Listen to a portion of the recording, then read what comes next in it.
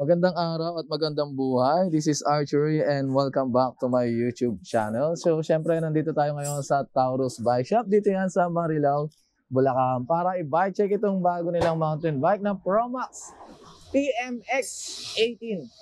Ayan, napakaganda nito mga ka So, sa mga naghahanap ng budget mountain bike dyan, pang araw-araw na gamit, pang exercise, pang gala-gala, tamang-tama sa inyo ang video na ito. Ayan. So, sa mga bago lang sa aking YouTube channel, nais ko lang magpakilala. Ako si Archery. Gumagawa ng bike check videos, bike repair tips, unboxing, at ako'y nahuhumaling ngayon sa pag-iisda. Baka malay natin sa mga susunod na araw, tayo'y gumawa naman ng video tungkol sa isda. Ayan. So, ano pang natin mga ka Wala pa tayong intro video. Kaya simulan na natin ang bike check nito. Sa mga sanay gumawa ng intro video dyan, no? Baka naman. Yan mga ka so sisimulan natin ang bike check. Palagi natin sinisimulan ng ating bike check sa kanyang timbang. So, ang bike na ito mga ka ay 29er. Kung hindi ako nagkakamali. Ito ay tumitimbang ng tumataginting na 15 kilograms. Ayan o. O, di ba? Para sa mga budget mountain bike, natural lang ang 15 kilogram. At the same time mga ka size 29 pa ang ating mountain bike. Ayan, so medyo oh, may kabigatan, hindi pala medyo may kabigatan, talagang mabigat ang budget bike mga ka Dahil ang mga pyesa niya ay mga, sabihin na natin, budget na budget din. Ayan. Ang frame natin mga ka ang size niya is 17. Kung hindi tayo nagkakamali mga ka that is medium.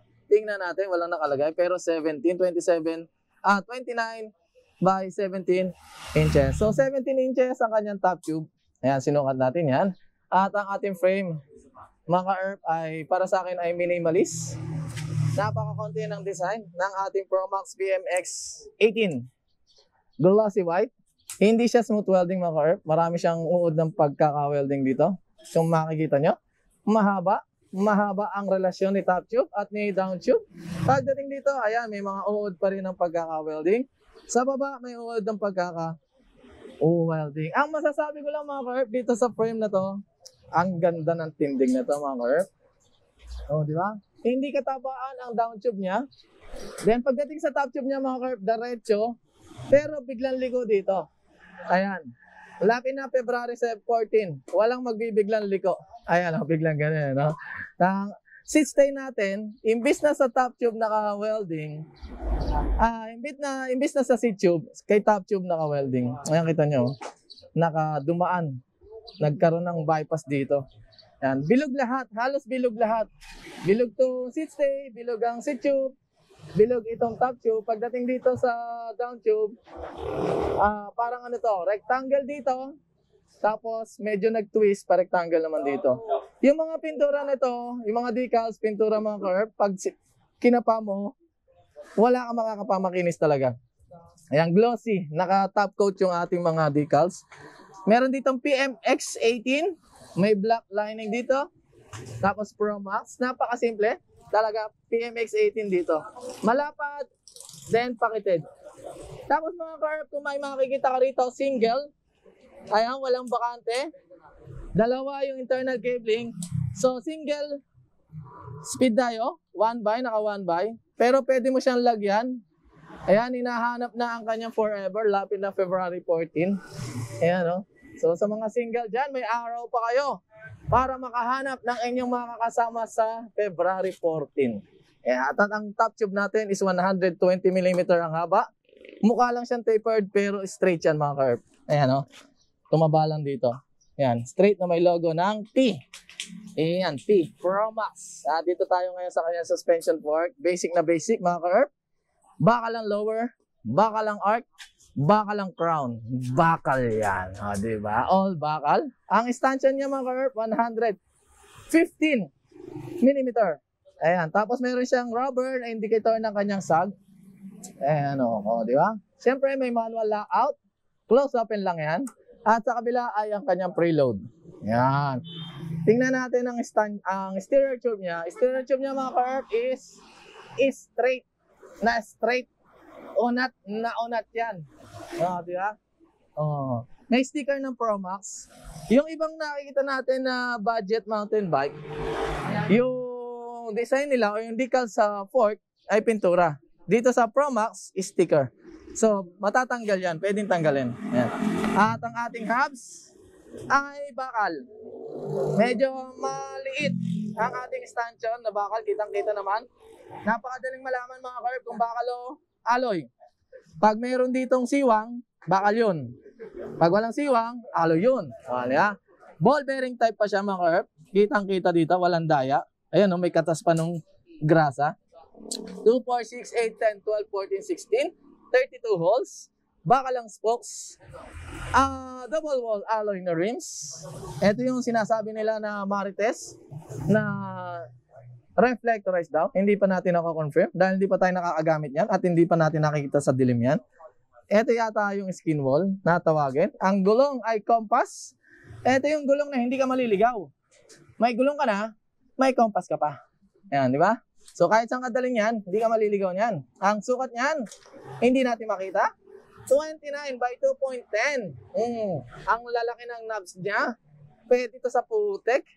Ayan, oh. Ang laban to sa mga putek. Oh. Yan, shoutout dun sa nakita natin na naka-budget bike na tumatalon sa Komodo. Kita niyo naman, budget bike lang ngayon, pero tumatalon sa Komodo. Oh, yan, no? Na-share ko lang. Siyempre sa kabila, ganun pa rin. Bakal na hubs. 32 holes. Ball bearing type yan. Bakal ang ating spokes. Aluminum. Double wall alloy na rims.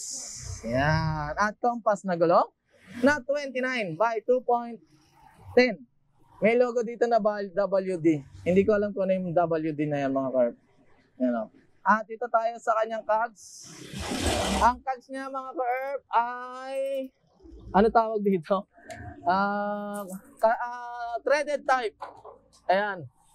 Na may mental block tayo. Threaded type ang ating cogs. 1, 2, 3, 4, 5, 6, 7, 8 speed. Ay, hindi ako nagkakamali mga curve. 13 ang pinakamaliit. 28 ang pinaka malaki. Ayan, budget na budget ang ating mountain bike. Pero sabi nga nila, kung wala sa bike yan, nasa binte. Ayan, naiiwanan pa nga ako ng mga ganitong mountain bike eh. Tapos ang ating RD, made of L2, A3. Ayan, medyo pitit lang siya, tingnan. Alito. Hmm. Standard size ang pulley plastic, parehas yan. Yung tension at yung guide pulley. At ang pagdating sa kadena, black and silver. Na may tatak na K, ano to? H, HXCL 51H. Ang haba naman ng tatak na to. Ayun, no? Crankset niya mga ka-erp. Ito, tingnan natin mabuti. Ayan, bakal ang ating crank arm na mayroong plastic. Ito may cover, la- plastic lang to mga ka-erp. Tapos, ang chain ring natin ay bakal din mga ka-erp. Mayroon din siyang plastic dito na cover. Kaya siya maganda siyang tingnan. Hindi siya napapalitan mga ka-erp. So kung magpapalit ka ng chain ring, palit ka lahat. Kasama yung crank arm. Square taper dito mga ka-erp. And base sa aking paningin, parang silvering yata ito mga ka-erp. Pero hindi natin malalaman niya hanggat hindi natin nabubuksan. Kaya may silvering kasi na square taper, mayroon din naman na ball bearing type na square taper. Yan. At ang ating seat clamp ay made of aluminum alloy. Tapos ang ating seat post ay made of bakal yan mga curve. Kitang-kita, walang daya. Ayan. 27.2 ang taba. 350 mm ang haba. At pedal niya mga curve, tingnan natin. Palagay ko, ayan, hard plastic nga siya. Hard plastic. Ang tigas niyan. Ball bearing type. So meron tayong maintenance video niyan para hindi tumagal-tagal ang ating pedal. Ang lapad nito mga curve. Ayan o. Oh. di ba? At ang upuan natin, uy, mukhang palo-palo. Yan, malambot ang ating foam. So pag naihi ka at nauto, tataas mo na lang yung puwit mo. Kasi walang hiwa rito. Yan, medyo malapad-lapad niya yung pagpapwesto ng puwit mo rito. Ayan, malapad to. Ang lagpas isang dangkal ko. Mm, ganda oh. Wala siyang tatak mga curve. Mm. At sa kanyang stem, uy, ano to, ragusa ng kamao stem. 75 mm. Negative stem yan mga curve. Dust cap, dust cap, dust cap, alloy to. Tapos mayroong isang spacer dito na 10 mm ang Cup top cover natin alloy. Yan, hindi mo to pwedeng baliktarin. Magmumukha siyang ano eh, pag ganun. Yan. At ito interesting mga ka-ERP. Tingnan niyo yung handlebar. Yung handlebar niya mga ka-ERP made from bakal yan. Ayan. High rise. Tama ba tayo? High rise. So kita niyo oh. Oh, 720 mm ang haba. Na gomang-goma ang ating grip. L2A3 na shifter. Meron siyang indicator na 8 speed. Ayan. At ito mga kahit tingnan nyo, pwede mo siyang i-upgrade sa hydraulic disc brake. Magkaiwalay na kasi yung shifter sa kayong lever. Hindi kagaya sa ibang ah, budget bike, naka-combo shifter sila. So ready to upgrade ka na. Kung gusto mong mag-hydraulic disc brake. Plastic itong ano, ito, to, to, to, to. Itong body ng lever. Pero ito alloy. Ito, alloy ano. Mm, di ba? Ang ganda. Mm. Pwedeng pwedeng lagyan ng ah, FD. Yan, mga ka-ERP. Oh, diba? Ganda. Dito tayo ngayon sa kanyang rotor. IS mount na rotor. Siyempre, mechanical disc brake yan. Ang tatak is Bashun. Bashun ba? Bashun. Ayan, paki-correct naman yung aking pronunciation. Siyempre, 160mm na rotor sa harap. Ayan, nakalimutan ko mga ka-ERP. Iyahabol ko lang. So kung dito ipinasok, syempre pag may ipinasok ka, may ilalabas ka, dito lumabas yung isa. Ito para sa FD to. Ayan. Tingnan natin kung saan lumabas yung isa pa. Dalawa kasi pumasok eh. Ayun, dito. Dito lumabas yung isa para sa preno sa likod. At yung preno sa likod, naka IS mount pa rin siya mga ka-ERP. Ayan o, IS mount, mechanical, Vaisyo ng tatak. 160 mm ang ating rotor. At napansin ko mga ka yung chain ring niya, may bukol. Ay yung ano pala, nakakalimutan na. Nag-loading tayo mga ka Yung chain stay niya may bukol. Ito, oh. Kapal nito. oh. Ayan, oh, di ba? Ang ganda. Palagay ko wala na ako nakakalimutan dito mga ka Sulyapan uli natin to. Panalo sa mga naghahanap ng budget mountain bike, oh. So ayan mga curb, ang ating bike check ng budget, ng budget na mountain bike. Dito yan sa Taurus Bike Shop. Ayan, nagkakahalaga nga pala to ng 7,300 pesos lang. Ayan, so tamang-tama sa mga naghahanap ng pang-araw-araw, pang-service at pang-exercise na mountain bike. So tumatanggap sila dito mga corp ng cash at ang kanilang home credit para sa mga gustong kumuha ng hulugang mountain bike. So marami pa sila rito binebenta mga corp. Ayan o. So pasyal na lang kayo rito.